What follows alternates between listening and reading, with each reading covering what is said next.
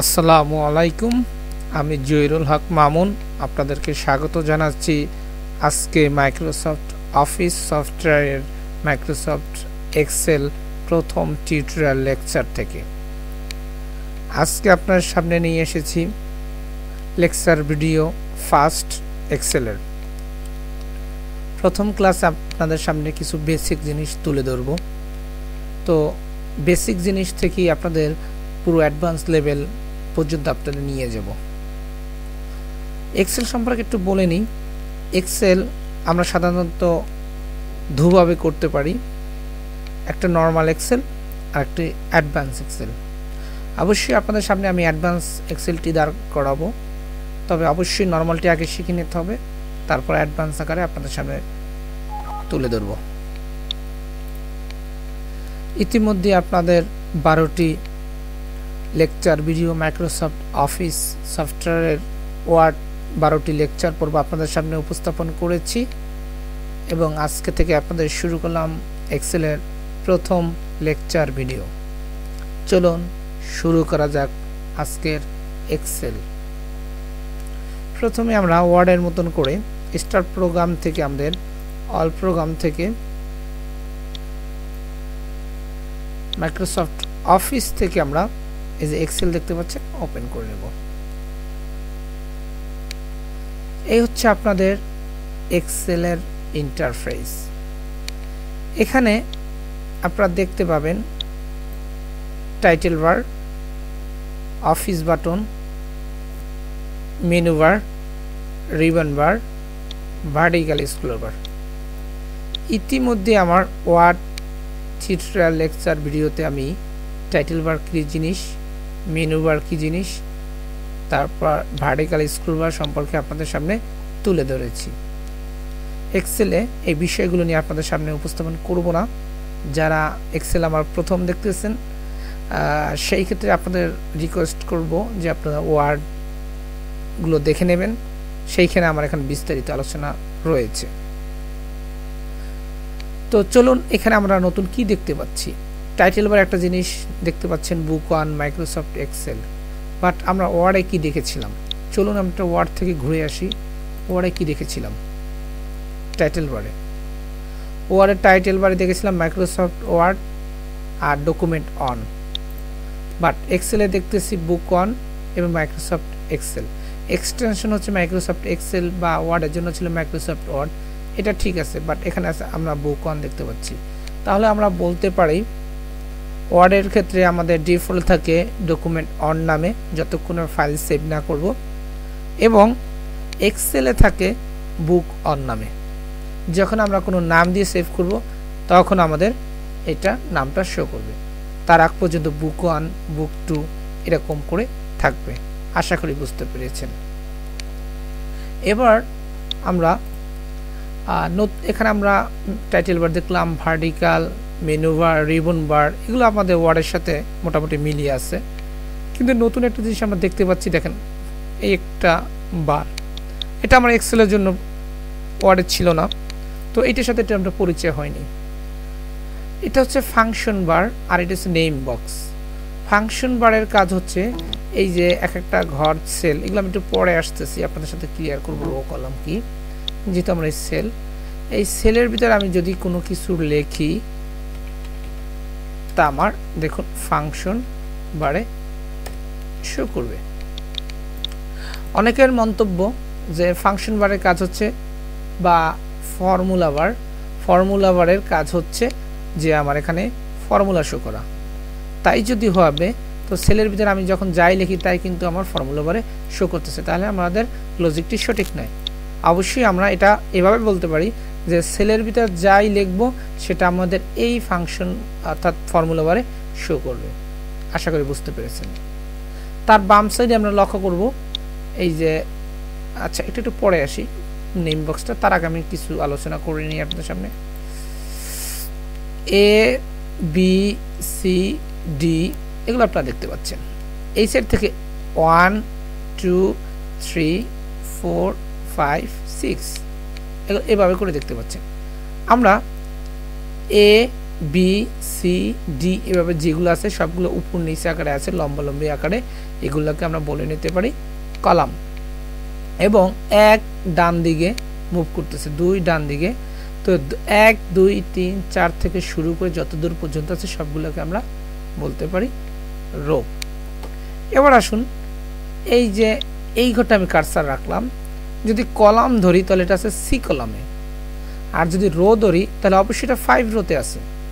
যদি আমাকে একসাথে বলতে হয় যে এটা কোন সেলে আছে, তাহলে আমাকে বলতে হবে আগে কলাম, সেই ক্ষেত্রে আমাকে বলতে হবে সি কলাম এবং ফাইভ রোতে। তো আমরা একসাথে বলতে পারি সি ফাইভ আর এই দুইটা মিলে তৈরি হয়েছে একটা সেল এই যে আমার সেলটি তৈরি হয়েছে, এখানে কলামও অন্তর্ভুক্ত রো অন্তর্ভুক্ত। তাহলে আমরা সুস্পষ্টভাবে বলতে পারি, একটা সেল তৈরি হয়, একটা কলাম এবং একটা রোয়ের কম্বাইনেশনে একটা সেল তৈরি হয়। তাহলে ধরুন আমার এই সেলটা আমি ক্লিক করলাম। এই সেলটা আছে জে থ্রি। এবার আসেন আপনাদের নেম বক্সটি। নেম বক্সে যে ঘরে কারসার থাকবে, সেই ঘরের কোন কোন সেলটা আছে সেটা শু শু করবে। তাহলে আমাদের জি আর এখানে রো আছে বারো। তাহলে আপনার জি বারো দেখতে পাচ্ছেন এইখানে যদি ক্লিক করি সি টু তার মানে সি কলাম টি টু রো তাই সি টু বলতে পারি। তাহলে আমরা এভাবে আগে কলমের নামটা বলব, সাথে রোর নামটা সি টু তাহলে আমরা এতক্ষণে আপনারা শিখে ফেলেছেন ফর্মু ফর্মুলা বারটি কি? অর্থাৎ সেলের ভিতরে কোনো কিছু লিখলে সেটা ফর্মুলা বারে শো করে। আর নেম বক্স হচ্ছে আমার যে সেলটিতে আছি, সেই সেলটির নামটা শো করে। আশা করি বুঝতে পেরেছেন।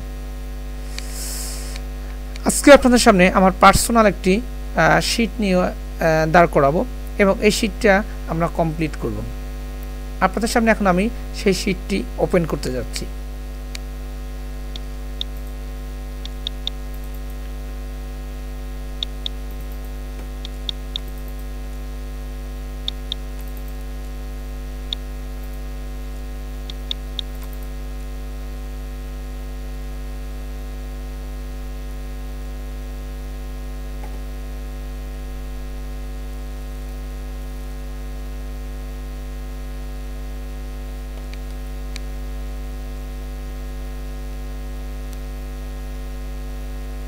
আপনার সামনে আমি শীটটি উপস্থাপন করতেছি। দেখে নিচ্ছি কোথায় আছে আমার শীটটি এক্সেল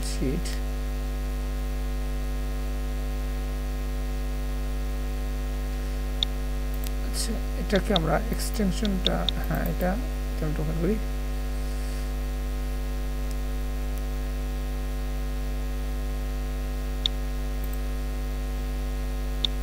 এটি এটি আপনাদের সামনে উপস্থাপন করতেছি। হ্যাঁ। এটি হচ্ছে আমার শীটের প্রথম যে পেজ সেটি।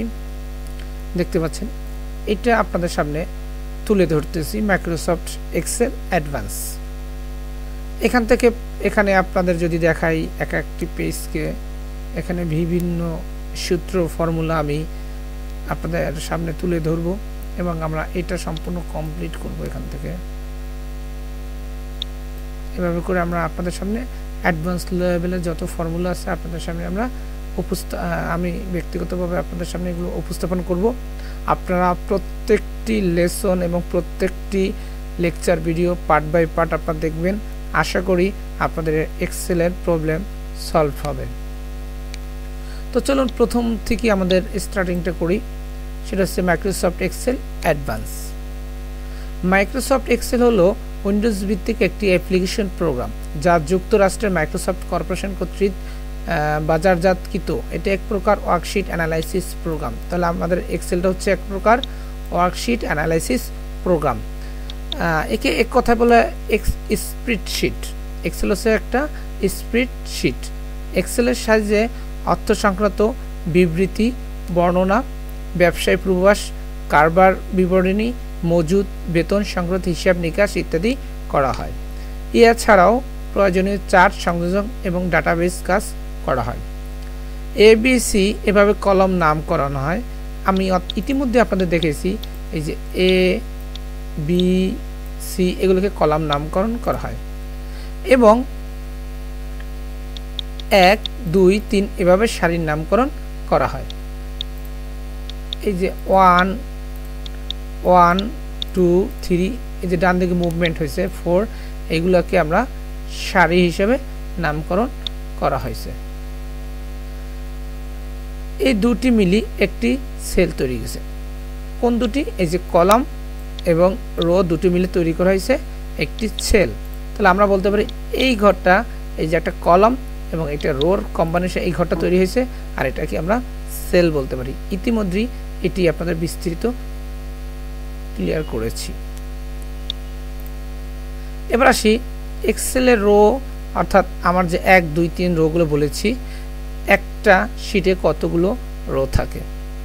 একটা শিটে রো থাকে দশ লক্ষ আটচল্লিশ হাজার পাঁচশো ছিয়াত্তরটি। আমি আবার বলতেছি এক্সেলের রো থাকে দশ লক্ষ আটচল্লিশ হাজার পাঁচশো ছিয়াত্তরটি। তবে এক্ষেত্রে একটু ডিফারেন্স আছে। যদি হয় আপনার টু থেকে সিক্সটিন ভার্সন সেক্ষেত্রে এই মেজারমেন্টটি ঠিক আছে। তবে দুই হাজার বা দুই হাজার দুই এইসব ভার্সনে এটি ঠিক নেই। যেহেতু বর্তমানে চলতেছে দুই থেকে সিক্সটিন পর্যন্ত, তো সেইখানে আমি যে এখানে হিসাবটি দিয়েছি, এটি আপনাদের সাথে মিলবে। তো এরপর আসি কলাম। চলুন আমরা একটু প্রমাণ করে আসি যে আসলে দশ হাজার সরি দশ লক্ষ আটচল্লিশ হাজার পাঁচশো ছিয়াত্তর আছে কি না এক্সেলে তো এক, দুই, তিন এভাবে ঘুরতে ঘুরতে দশ লক্ষ আটচল্লিশ হাজার পাঁচশো ছিয়াত্তরটি যাওয়া সো ডিফিকাল্ট তো শর্টকাটে আপনার একটু দেখতে পারেন, সেটা হচ্ছে প্রথম সেলে যদি কার্সাটা রেখে কিবোর্ড থেকে কন্ট্রোল ধরে কন্ট্রোল ধরে ছেড়ে দেবেন না। কিবোর্ডের ডাউন অ্যারো কি প্রেস করলে দেখেন ডাউন করলাম, সর্বশেষ রোতে চলে আসছে। তো সর্বশেষ কত সংখ্যা আমরা দেখতে পাচ্ছি? দশ হাজার সরি দশ লক্ষ আটচল্লিশ হাজার পাঁচশো ছিয়াত্তরটি। ইতিমধ্যেই আমার যে মেজারমেন্টটি দেখেছেন, সেটার সাথে মিল খুঁজে পাবেন। আশা করি বুঝতে পেরেছেন। এবার যদি আমি প্রথম রোতে চলে যেতে চাই, তাহলে আমাদের আবারও কয়েন্ট্রোল ধরে আপার অ্যারোকিটি প্রেস করতে হবে। প্রেস করলাম, দেখুন আমাকে প্রথমে নিয়ে নিয়ে আসছে। আশা করি এটা বুঝতে পেরেছেন। এবার কলম কতগুলো আছে? ষোলো হাজার তিনশো চুরাশিটি। এবং সেল কতগুলো আছে? এক কোটি সাতষট্টি লক্ষ সাতাত্তর হাজার দুইশো ষোলোটি।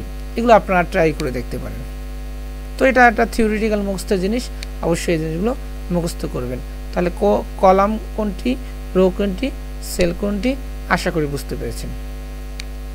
এবার কীভাবে এক্সেল রো কলম কতটি আছে দেখা যায়। অলরেডি এইটা আপনাদের এই যে কন্ট্রোল ধরে ডাউন আর কি দেখিয়েছি। আশা করি এটা পারবেন। কীভাবে টাক্স প্যানে এক্সেল শর্টকাট রাখা যায়? এখানে আমার ফাইলগুলো জমা আছে, কিন্তু এখানে যদি শর্টকাট আকারে রাখতে চান, সেক্ষেত্রে দুইটা ওইতে আপনি রাখতে পারেন। এখান থেকে যদি আপনারা অল প্রোগ্রামে গিয়ে মাইক্রোসফট অফিস এখান থেকে আপনারা এক্সেল দেখতে পাচ্ছেন। রাইট বাটন ক্লিক করে পিন টু টাক্স বার দিলে ও কিন্তু এখানে সেট হয়ে যাবে। এবার যদি ওয়ার্ডেরও রাইট বাটন ক্লিক করে ঠিক পিন টু টাক্স বার করেন, আপনাদের এইটা হচ্ছে টাক্স বার এই টাক্স বারে চলে আসবে।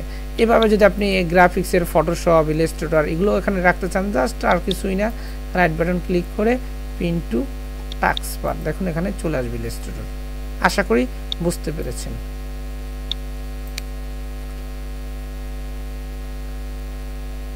এবার মাইক্রোসফট এক্সেলে লেআউট পরিচিতি টাইটেল বার অলরেডি আমার আলোচনা শেষ মেনু বার আলোচনা করেছি এমএস ওয়ার্ডে ফর্মুলা বার ইতিমধ্যে আলোচনা করেছি সেল রো কলাম স্ক্রোবার এগুলো নিয়ে আমি অলরেডি আলোচনা করেছি। এখানে একটা আপনাদের সামনে নোট রেখেছি, সেটা হচ্ছে, একটি সেলে দুশো পঞ্চান্নর বেশি ক্যারেক্টার লেখা যায় না। ক্যারেক্টার মানে কি? চলুন দেখা যাক।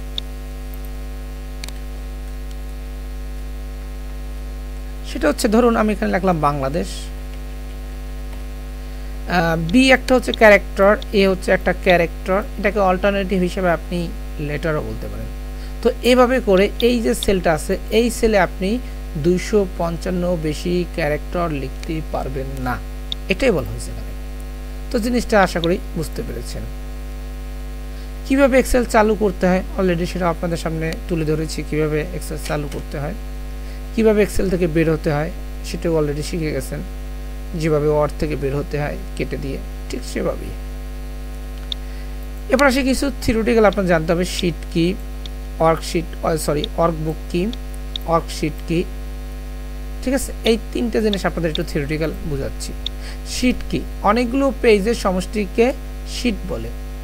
ধরুন আপনার এক একটা তিন চার পৃষ্ঠা মিলে মিলে পেজগুলো আপনি আপ করে একটা শিট বানান। তাহলে অনেকগুলো পেজের সমষ্টি কিন্তু আমার শিটটা তৈরি হচ্ছে। তো একটি শিটে অবশ্যই তাহলে অনেকগুলো পেজ থাকে। অবশ্যই পেজ থাকবে। পেজ ছাড়া শিট তৈরি হয় না। দুই হাজার বাসনে তিনটি শিট থাকে, কিন্তু দুই হাজার তেরোতে মাত্র একটি শিট থাকে। কোনটি একটি আর কোনটি তিনটি থাকে? এখনই প্র্যাকটিক্যাল দেখাচ্ছি। এই যে দেখুন sheet one sheet two sheet three অর্থাৎ এক্সেল ওপেন করলে ডিফল্ট তিনটা শিট দেখতে পাবেন। তবে যখন প্রথম শিটে থাকবেন, এখানে অনেকগুলো পেজ থাকবে। যেহেতু আমি সঙ্গ অনুসারে বলেছি, অনেকগুলো পেজ নিয়ে শিট হয়। আর একটা যদি পেজ হতো, তাহলে একটা পেজে কি কলাম দশ লক্ষ সম্ভব ছিল এইভাবে করে? তাহলে অবশ্যই একটা পেজে ধরার কথা না। তো এখানে অনেকগুলো এই শিটে অনেক অসংখ্য পেজ সমষ্টি হচ্ছে এই শিট এবং দুই নম্বর শিটটাও ওরকমই, অনেকগুলো পেজের সমষ্টি হচ্ছে একটা শিট তো আশা করি শিটটা বুঝতে পেরেছেন। এবং বলেছিলাম টু থাউজেন্ড সেভেন ভার্সনে যেহেতু আমার এটা two thousand seven version sheet এখানে ডিফল্ট তিনটে দেওয়া থাকবে। কিন্তু থার্টিনে কিন্তু মাত্র একটি শিট দেওয়া থাকে। বাকিগুলো আপনারা এখান থেকে এই যে বাটনটা আছে ক্লিক করলে, এই যে ক্লিক করলে ক্লিক করলে আপনারা বাড়াতে পারেন। এবং এখান থেকে আপনারা ডিলেট করতে পারেন, এই রাইট বাটন ক্লিক করে এগুলো আপনারা ডিলেটও করতে পারেন। তবে ডিফল্ট দেওয়া থাকে তিনটি শিট সেটা টু থাউজেন্ড ভার্সনের জন্য এবং পিছনেরগুলো। তবে থার্টিনে নয়, মাত্র একটি শিটই থাকে। আরও যদি শিট নিতে হয়, অবশ্যই এই যে ইনসার্ট ওয়ার্কশিট এটাকে ক্লিক করে নিতে হবে। এবার আপনাদের সামনে কিছু যোগ নিয়ে আসব। যোগগুলো ইতিমধ্যে আপনারা অনেকে হয়তো পারেন, কিন্তু আমি একটু আপনাদেরকে কিছু ডিটেলস আকারে যোগগুলো নিয়ে আসব। আপনারা জানেন এই একটা সেল একটা সেল। এই সেলে আমি দশ লিখলাম এবং এই সেলে লিখলাম বিশ। আমি দুটি সংখ্যার যোগফল আমি এখানে বের করতে পারি বা এখানে চাইলেও বের করতে পারি, এখানেও বের করতে পারি। আপনি এই সেলের যে কোনো জায়গায় ফর্মুলা লিখে এটাকে দুইটা যোগফল বের করবেন তো আমার দেখার সুবিধাটা আমি এখানেই বের করি। তো এখানে আমরা ইকুয়াল দিয়ে শুরু করব। কারণ আমি যেহেতু দুইটার সাথে যোগ করব, অবশ্যই এখানে একটা ফর্মুলা অ্যাপ্লাই করতেছি। মনে রাখবেন, যখন কোনো ফর্মুলা বা সূত্র অ্যাপ্লাই করব, সেই ক্ষেত্রে ইকুয়াল দিয়ে শুরু করব। তাহলে এই যে বিশ লিখেছি এখানে কিন্তু আমি ইকুয়াল দেইনি।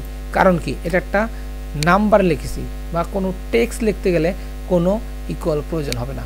যখনই ফর্মুলা বা সূত্র অ্যাপ্লাই করবেন ডেফিনেটলি ইকুয়াল দিয়ে শুরু করতে হবে। ইকুয়াল না দিলে এখানে সে রেজাল্টটা আসবে না। তো এক্সেলের প্রথম শর্ত হচ্ছে, কোনো ফর্মুলা লিখতে হলে অবশ্যই তাকে ইকুয়াল দিয়ে লিখতে হবে। তো সে, সেই হিসেবে আমি ইকুয়াল দিলাম। এবার হচ্ছে, আপনারা জানেন যে যোগ যোগ বিয়োগ গুণ করার ক্ষেত্রে আমরা সাম দেখতে পাই। এখন আমার কোশ্চেন হচ্ছে, এই সাম কেন? সামেশন হ্যাঁ সাম মানে যোগ বা সামেশন যোগ। কিন্তু আমার এখানে সাম মানে যোগ নয়। অনেকে এখানে ভুল করেন। এখানে যদি সাম দিলে যোগ হয়, তাহলে অবশ্যই বিয়োগের ক্ষেত্রে এখানে সাব দিতে হবে, গুণের ক্ষেত্রে মাল্টিপ্লাই দিতে হবে।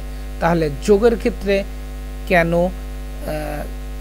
সাম বিয়োগের ক্ষেত্রে কেন সাবট্র্যাক্ট নয়?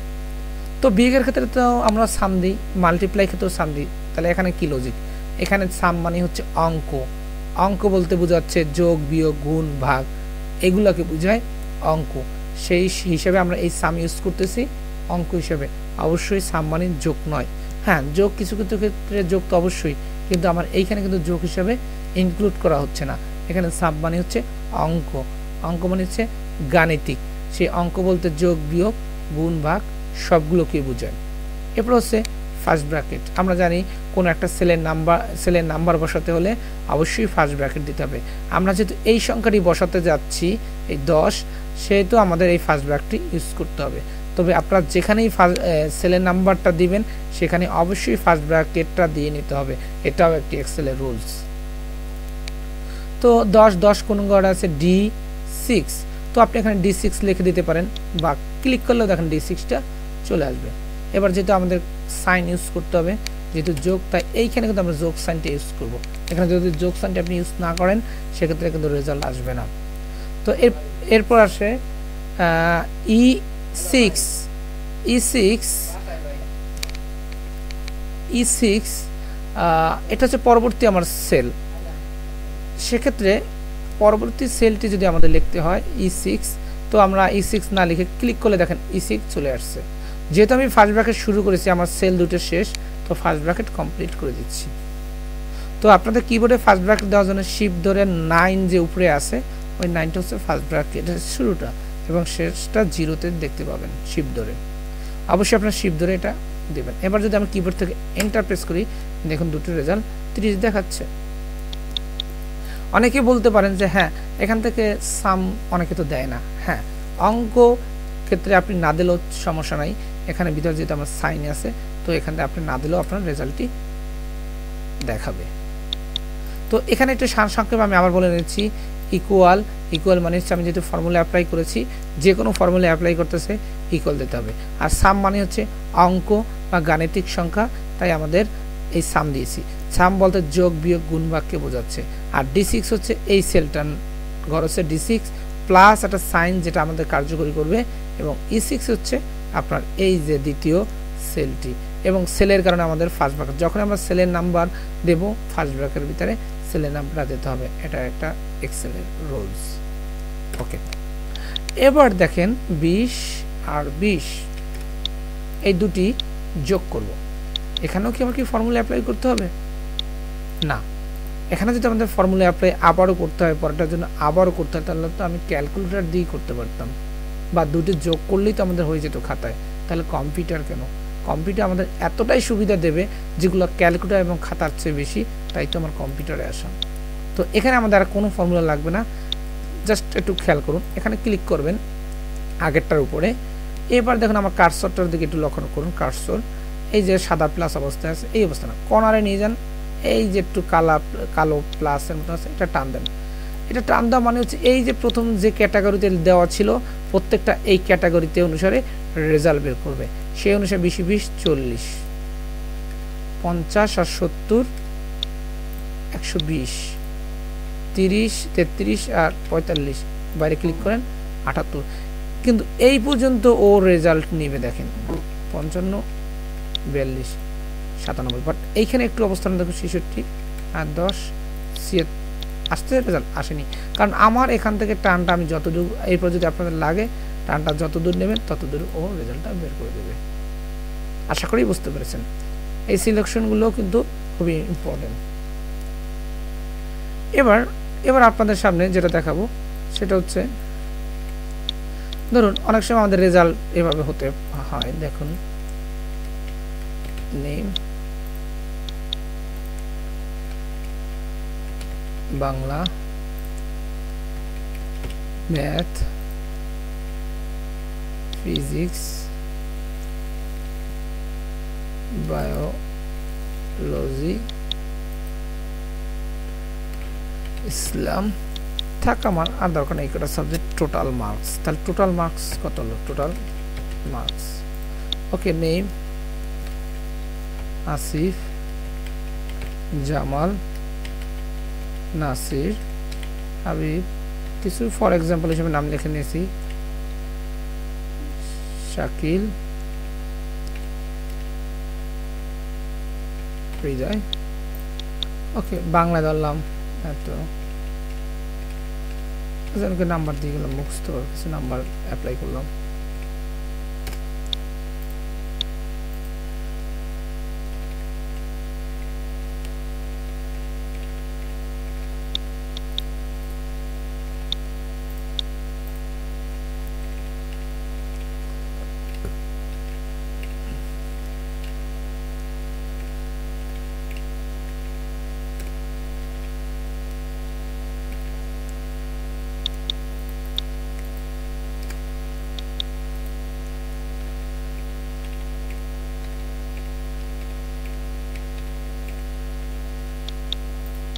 সর্বশেষ ইসলামেরটা আমি দিয়ে দিচ্ছি।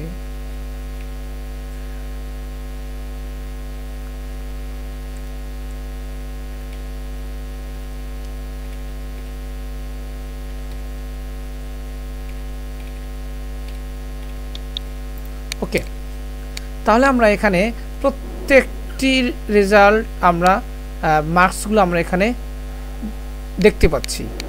এখানে আমরা প্রত্যেকটি সাবজেক্ট আমরা মার্কসগুলো দেখতে আমরা আজানের সম্মান, সম্মানার্থে কিছুক্ষণ আমরা বিরতি দিতে যাব। তো আমি কিছুক্ষণ পরে আপনাদের টিউটোরিয়ালে আবার কন্টিনিউ করব। আমরা আবার টিউটোরিয়ালে ফিরে আসলাম। আজানের সম্মানার্থে আমরা কিছুক্ষণ বিরতি গিয়েছিলাম। ওকে যাই হোক আমরা অলরেডি সাবজেক্টগুলো আমরা নির্ধারণ করে ফেলছি এবং মার্কসগুলো। তো এখানে আমরা দেখতে চাচ্ছি Asif, Bangla, math, physics, biology এবং ইসলাম। তো এখানে টোটাল মার্কস তাহলে কত আসে? তো আমরা টোটালটা যোগ করতে পারি।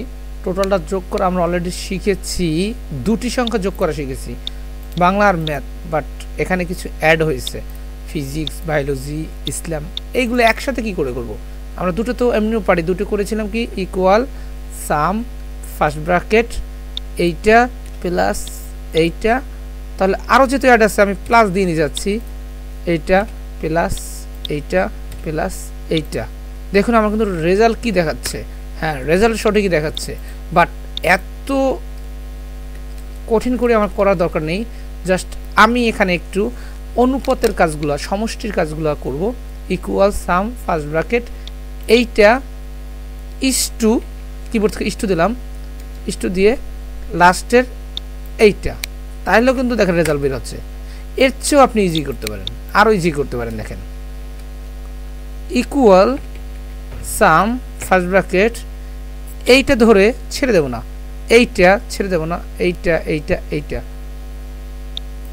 দেখুন, আমার কিন্তু কোনোটা লেখা লাগেনি। আগে আমি লিখেছিলাম, এবার কিন্তু টোটাল এবার first bracket complete then result কিন্তু ওটাই আসছে।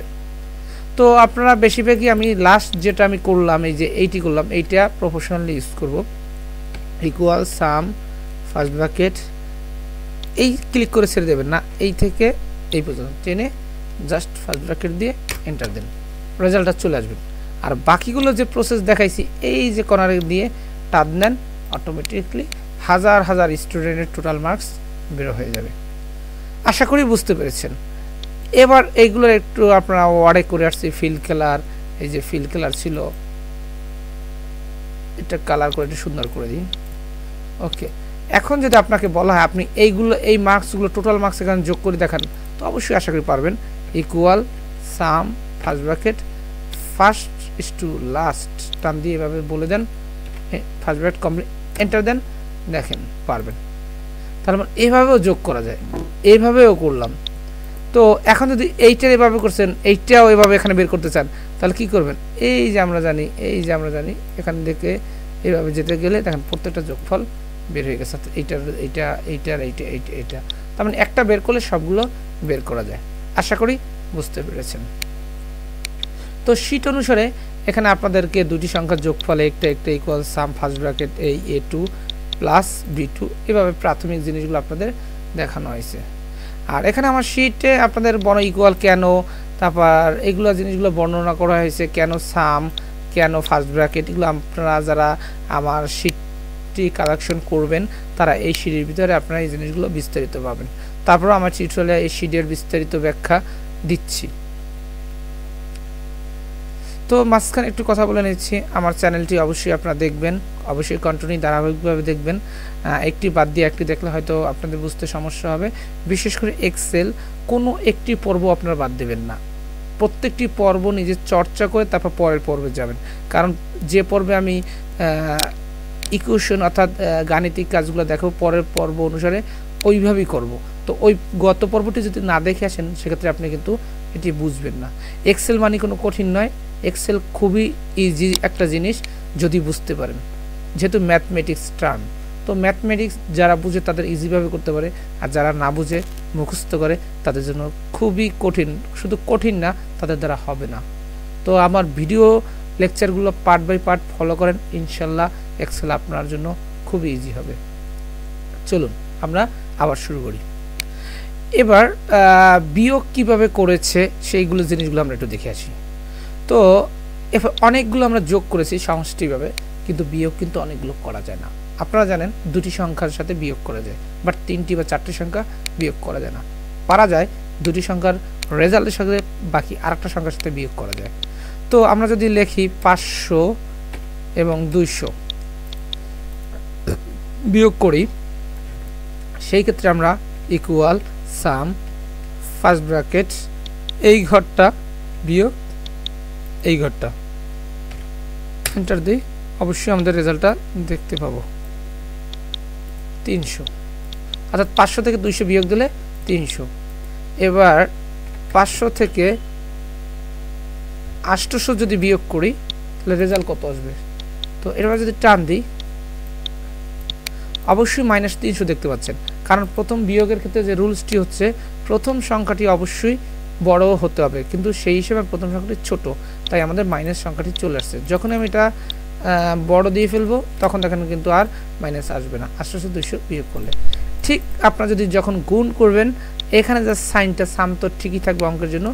জাস্ট এখানে মাইনাসের জায়গায় মাল্টিপ্লাই তো মাল্টিপ্লাই কিন্তু এখানে স্টার আপনাদের যে নিউ নাম্বার যে সিস্টেমটা আছে নিউমেরিক সেই নিউমেরিক এখন একটা স্টার দেখবেন, একটা স্লাস দেখবেন, একটা মাইনাস দেখবেন, একটা প্লাস দেখবেন। তো এই স্টারটাই হচ্ছে আপনার গুণ চিহ্ন। তো দেখেন গুণ দিলে রেজাল্ট বের হয়ে যাচ্ছে। পরেগুলো অটোমেটিক বের হয়ে যাবে। আর যদি আমরা একটাকে যে স্লাশ নাম্বার এখানে স্লাশ এরকম একটা চিহ্ন দেখতে পাবেন, এইটাকে দিলে দেখেন ভাগ করে দেবে। সরি একটা ভাগ, অর্থাৎ পাঁচশো থেকে দুইশো আড়াই। ঠিক আছে? তো এইভাবে আপনারা যোগ, বিয়োগ, গুণ, ভাগ করতে পারবেন ইনশাল্লাহ তো আমাদের যোগ, বিয়োগ, গুণ, ভাগ একই শেষ করে ফেললাম। এবার আমরা যাব কীভাবে অনেকগুলো সংখ্যা যোগ করতে হয় সেটা আমরা দেখেছি অলরেডি এবার একটা ভ্যালু কীভাবে, এবার ম্যাক্সিমাম এবং মিনিমাম এই দুটি আপনারা জানেন। তো চলুন আমাদের আগের যেটা দেখাচ্ছি যে এখানে আশি, বাংলায় অষ্টআশি, পঁয়ষট্টি, নিরানব্বই, ছেষট্টি, এবং পঁয়ষট্টি। এখানে ম্যাক্সিমাম নাম্বার কোনটা? অবশ্যই নিরানব্বই। তো এটা অনেকগুলোর ক্ষেত্রে কিন্তু আপনার বের করতে সমস্যা যে ম্যাক্সিমাম নাম্বার কোটা।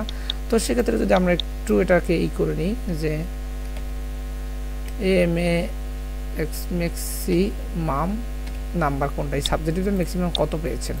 Maximum number.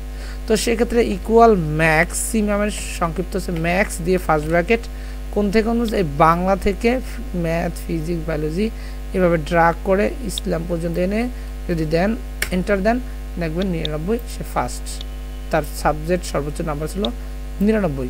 তাহলে পরেরটা কী অবস্থা? জামাল, চুয়াল্লিশ, সাতাত্তর, চুয়াল্লিশ চুয়াল্লিশ, পঁয়ষট্টি, তার সাতাত্তর ফার্স্ট সর্বনিম্ন দেখেন সাতাত্তর চলে আসছে। এভাবে আমরা ম্যাক্সিমাম নাম্বারটা বের করতে পারি। এবার আমরা যাব মিনিমাম মানে সর্বনিম্ন কোন নাম্বারটি আছে? মিনিমাম নাম্বার তো সেক্ষেত্রে আমরা যেটা করতে পারি equal M I N min first bracket তো কোথা থেকে কোথা এই যে বাংলা থেকে ফিজিক্স, বায়োলজি, ইসলাম, এই যে ইসলাম পর্যন্ত। তো ফার্স্ট ব্র্যাকেট কমপ্লিট করে এন্টার দেন। দেখেন সর্বনিম্ন পঁয়ষট্টি। আমি যদি আপনাদের প্রুফ করে দেখাই, এই পঁয়ষট্টি, নিরানব্বই, ছেষট্টি, পঁয়ষট্টি, তার মানে এই পঁয়ষট্টিটাই সর্বনিম্ন নাম্বার বাকিদের কি অবস্থা? টান দিলে বাকিদেরটা কার কত সর্বনিম্ন সেটা আপনার চলে আসবে। আশা করি বুঝতে পেরেছেন। এটা ছিল মিনিমাম এবার হচ্ছে ভ্যাট মানে কমিশন বা পার্সেন্টেজ বলতে পারেন। এই যে মনে করেন ধরুন ধরুন পঞ্চাশ হাজার টাকায় তিন চার, পঞ্চাশ হাজার টাকায় পঞ্চাশ পার্সেন্ট যদি দেই, তাহলে এটা আপনার সহজেই বলতে পারবেন এখানে বের হবে পঁচিশ হাজার।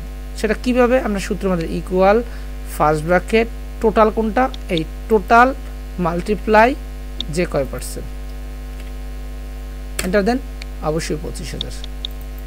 আমি আবারও বলছি, আপনারা যদি হয়তো এটাভাবেও করতে পারেন জিনিসটাকে এভাবে, যদি এটা একটা ডিটেলস আকারে করা, আমি এই মতো যেটা দেখলাম, এটাই সংক্ষিপ্ত। তো equal first bracket total total কোনটা? পঞ্চাশ হাজার, লিখতে পারেন, সমস্যা নাই। মাল্টিপ্লাই পঞ্চাশ পার্সেন্ট লিখে দেন পনেরো পার্সেন্ট তাহলে নিয়ম হচ্ছে total equal first bracket total multiply এবং পার্সেন্টেজ তো মাল্টিপ্লাই দেওয়ার পর পার্সেন্টেজ পঞ্চাশ পার্সেন্ট দিয়ে এন্টার দেন, পঁচিশ হাজার আসবে। তবে এটা অনেকটাই কঠিন ব্যাপার মানে অনেক সময় ব্যাপার। তো আপনার সরাসরি সাম ফার্স্ট ব্র্যাকেট এই টোটাল মাল্টিপ্লাই কয় পার্সেন্ট যদি দেওয়া থাকে তো ভালো, না দেওয়া থাকে আমরা লিখে নেব। ওকে তাহলে আমাদের এটা বের হয়ে গেছে। তাহলে আমরা যদি এটা হয়, তাহলে সত্তর হাজার টাকায় আট পয়েন্ট ফাইভ পার্সেন্ট কত? এটা একটা ডিফিকাল্ট এটা আমরা দশ টাকা যদি বের করা হয়েছে, এটা টান দিলে বের হয়ে যাবে। উনষাটশো পঞ্চাশ টাকা। আমি আবারও একটু রিপিট করি, আমার ফর্মুলাটা এরকম হবে। টোটাল যে টাকাটা থাকবে, সেইটা দিয়ে গুণ করতে হবে যে কয় পার্সেন্ট দিয়ে।